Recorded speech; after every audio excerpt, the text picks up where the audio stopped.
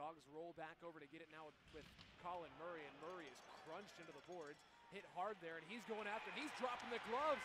Murray drops the gloves with Mitchell McPherson, lands a couple of big rights, and takes him down to the ice as McPherson in his first professional game drew the ire of the veteran Murray, and he swung a few at him and got him off balance and brought him down big time.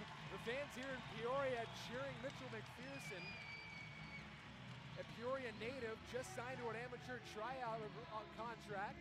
We're going to show it once again, and it was Murray trying to throw on the brakes, get the puck, and McPherson went to get him, and Murray did not like him, cross-checked, dropped the gloves, and started throwing rights. And it was Murray who landed a couple of rights on him. McPherson got him in the back of the head, and then Murray was swinging, gave him a glancing blow as he tugged him down to the ice. Probably only three punches landed overall in that fight. Two for Murray, one for McPherson.